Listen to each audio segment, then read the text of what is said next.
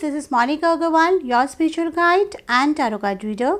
So today we are going to talk about law of attraction. Law of attraction के बारे में कई लोगों ने सुना होगा जिन्होंने नहीं सुना होगा मैं बता देती हूँ हमारा जो माइंड होता है उसके दो पार्ट होते हैं कॉन्शियस और सबकॉन्शियस माइंड कॉन्शियस माइंड वो होता है जिससे हम सुन रहे हैं, बात कर रहे हैं, जो हमें पता चल रहा है। सबकॉन्शियस माइंड यानी कि अवचेतन मन वो होता है, जो कारण होता है हमारी ज़िंदगी में हर चीज़ जो हो रही है। क्योंकि वहीं पे हमारी पास्ट लाइफ मेमोरीज स्टोर होती हैं, वहीं पे हमारे वो सारे इवेंट्स स्टोर होते हैं जो हम इग्नोर करें या हम दिल से लगा लें। हर तरह की मेमोरीज़ हर तरह की चीज़ें, चाहे वो खुशियाँ हों, चाहे गम हो, वहीं स्टोर होती हैं और वही सारी वाइब्रेट होती हैं ब्रह्मांड में जाकर और वैसी चीज़ें हमारी लाइफ में आती हैं। जैसे कि हम कहते हैं कि यार, हम तो बहुत पूजा कर रहे हैं, मैं तो सुबह शाम दिन में चार चार घंटे पूजा कर रही हूँ, मैं अपने बच्चों के लिए बहुत कुछ मांग रही हूँ, जो कि कई लेडीज़ की कंप्लेंट होती है बट फिर भी मेरी इतनी पूजा पाठ लग क्यों नहीं रहा है? मेरे, मैं इतना पूजा पाठ करती हूँ, फिर भी मेरे साथ अच्छा क्यों नहीं हो रहा है? क्यों? ज़रा सोचिए, जब आप पूजा कर रहे हैं तो आप भगवान से क्या बोल रहे हैं? आप ये बोल रहे हैं कि, भगवान, मेरे पास पैसे नहीं हैं, मुझे पैसे दे दीजिए, मेरे पास पैसों की कमी है, मुझे पैसे दे दीजिए, मेरे पास काम नहीं है, मुझे काम दिला दीजिए। तो आप जो बोल रहे हैं, वही तो भगवान तथास्तु कर रहा है। आप कह रहे हैं, भगवान, मेरे पास पैसे की कमी है, मुझे पैसे दे दीजिए, भगवान ने कहा तथास्तु। तो आपने बोला, मेरे पास पैसे नहीं हैं। तो तथास्तु उस पर हुआ, क्योंकि जो हम बोलते हैं, वही यूनिवर्स में वाइब्रेट करता है। फिर दोष हम भगवान को देते हैं कि वो, उसको तो बहुत अच्छा मिल गया, मुझे इतना अच्छा क्यों नहीं मिला? अरे भाई, उस भगवान की क्या कसूर है? वो तो बेचारा जो आप मांग रहे हो, वो आपको देता जा रहा है ना? तो ये इसको कहते हैं लॉ ऑफ़ अट्रैक्शन कि जो आप कहते हो, जो आप सोचते हो, जो आप बोलते हो, वही आप अट्रैक्ट करते हो। अब मैं आपको बताती हूँ लॉ ऑफ़ अट्रैक्शन की कुछ टिप्स जिससे आप अपनी ज़िंदगी में चेंजेस ला सकते हैं। यानी कि जब आप पैसे ले रहे हैं किसी से, जब आप पैसे एक्सेप्ट कर रहे हैं, चाहे अपने वर्क के लिए, चाहे किसी भी चीज़ के लिए लेफ़्ट हैंड से एक्सेप्ट करिए। अब हमारी इंडियन सोसाइटी में बहुत लोग कहते हैं जी प्रसाद राइट हैंड से लेना है, सब कुछ राइट हैंड से लेना है लेफ़्ट क्यों नहीं लेना? है लेकिन मैं आपको बताऊँ बिकॉज़ जो लेफ़्ट हैंड होता है, वो हमारा रिसीविंग होता है, जो साइंस भी मानती है, और जो राइट हैंड होता है, वो हमारा गिविंग का होता है। तो रिसीविंग हैंड से आप रिसीव करेंगे गिविंग हैंड से आप देंगे। अगर आप उल्टा कर रहे हैं तो आप अपनी लाइफ में उल्टी चीज़ें अट्रैक्ट कर रहे हैं।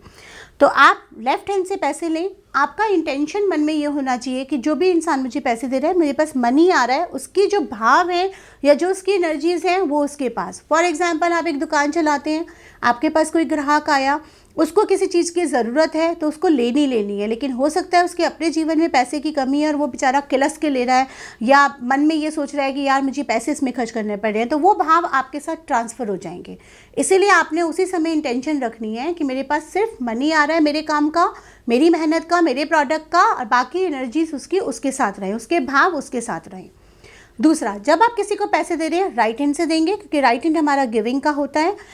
और जब पैसे देंगे, ध्यान रखेंगे कि जहाँ पे जैसे नोट होता है, उस पर पाँच सौ रुपये लिखा होता है तो वो देने वाले की तरफ़ हो, जो मतलब जो ले रहा है, उसके तरफ़ हो। जब आप दें नोट का जो लिखा हुआ है पार्ट है, वो उधर हो वो कोशिश करें आप अगर नहीं भी ध्यान रहे तो आप राइट हैंड से दें और आपका इंटेंशन ये रहना चाहिए कि मेरे हाथ से जो पैसे निकल रहे हैं, वो यूनिवर्स मुझे मल्टीप्लाई करके वापस कर रहा है। मतलब मेरे को मल्टीप्लाई करके उतनी इनकम हो रही है और मुझे वो वापस मिल रहे हैं। उस इंसान से नहीं जिसको आप दे रहे हैं, लेकिन यूनिवर्स से आपको। तो आपके हमेशा पॉजिटिव फीलिंग रहेगी। आपको ये फीलिंग कभी नहीं रखनी है कि मुझे स्पेंड करना पड़ गया, मुझे खर्चा करना पड़ गया या मेरे खर्चे में, क्योंकि जैसे फीलिंग आप रखेंगे, वैसे ही आप वाइब्रेट करेंगे। अब जो आप सोच रहे हैं वो तो इंपॉर्टेंट है, लेकिन उससे ज़्यादा इंपॉर्टेंट होता है भाव। कहते हैं ना, विचार बनाए ज़िंदगी। विचार ने बनाए ज़िंदगी नहीं, भाव बनाए ज़िंदगी। एक बहुत पुरानी एक द सीक्रेट करके एक मूवी है, जिसमें इस चीज़ पे फोकस करा गया है कि विचार बनाए ज़िंदगी। But the missing part is that विचार नहीं, भाव बनाए ज़िंदगी। क्योंकि विचार के साथ साथ आपके जो थॉट के साथ साथ जो आपके भाव होते हैं फॉर एग्ज़ाम्पल, अगर हम एक सीरियल का शूटिंग कर रहे हैं, दो एक्टर आपस में फ़ाइट कर रहे हैं, एक दूसरे को अब्यूज़ कर रहे हैं तो इसका मतलब ये नहीं कि वो दुश्मन हो जाएँ। क्यों? क्योंकि उन्हें अंदर से पता है कि हम एक्टिंग कर रहे हैं। शूट के बाद दे आर फ्रेंड्स तो इसका मतलब उनके भाव नहीं चेंज हुए हैं। उनके सिर्फ़ थॉट्स चेंज हुए हैं। उन्होंने वो थॉट्स क्रिएट करे हैं क्योंकि उनको वो एक्ट करना है। इसीलिए आप ऊपर से आप सोचते जा रहे हो कि मेरे पास बहुत सारा पैसा है, आप एफॉर्मेशन कर रहे हो, लेकिन आपके भाव नहीं चेंज हो रहे हैं। आप बिलीव नहीं कर पा रहे हो तो आपकी लाइफ में कोई चेंज नहीं आएगा। आप सोचते रहेंगे कि मुझे बाइक खरीदना है बाइक खरीदना है, साल भर बाद भी आपके पास बाइक नहीं आई क्यों? क्योंकि आप बिलीव तो कर ही नहीं पा रहे हैं कि मैं बाइक खरीद सकता हूँ या मैं गाड़ी खरीद सकता हूँ। तो बिलीव करना इंपॉर्टेंट होता है। सो अपने भावों को चेंज करिए।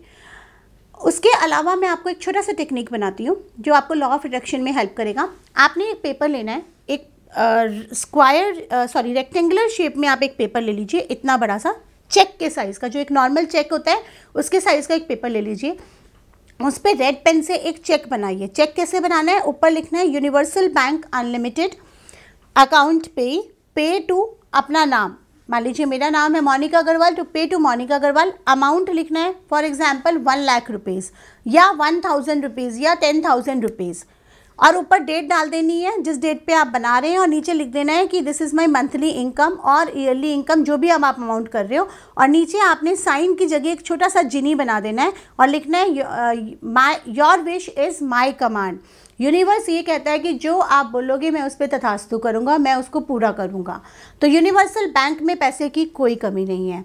आपने यूनिवर्सल बैंक अनलिमिटेड का एक चेक बनाना है, लेकिन ये चीज़ ध्यान रखिए कि अगर आप एक लाख रुपए कमा रहे हैं तो एक करोड़ का चेक मत बना दीजिएगा कि मंथ में मुझे एक करोड़ मिल जाए, क्योंकि चीज़ वो करनी चाहिए जो हमारा मन भी एक्सेप्ट करे।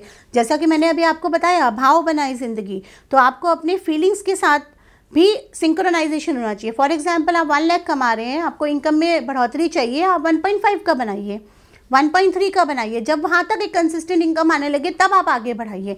दूसरा, अपने प्रोफेशन एंड अपनी कैपेबिलिटीज़ को भी मैच करके बनाइए।